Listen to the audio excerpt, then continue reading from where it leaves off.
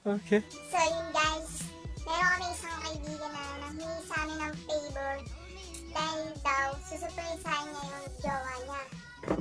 I mean, boyfriend niya, si Ira Joy. So yun guys, panoorin niyo na yung video namin. A few moments later.